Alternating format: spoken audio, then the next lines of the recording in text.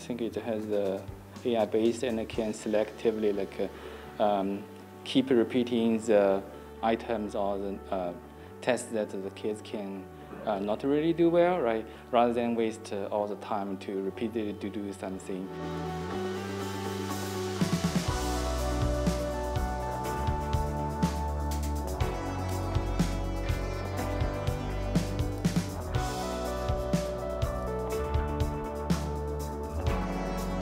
We can efficiently fill each individual's gaps.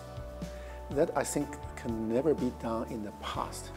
It's computer measured, computer controlled, and to filling everybody's gap of previous years. Once you fill in the previous uh, the gaps of previous years, and computer knows which new skills you can start.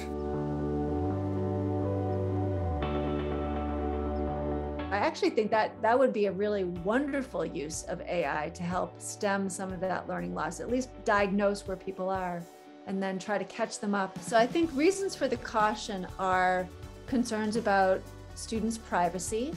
When you are using artificial intelligence, you're collecting a lot of data from your users.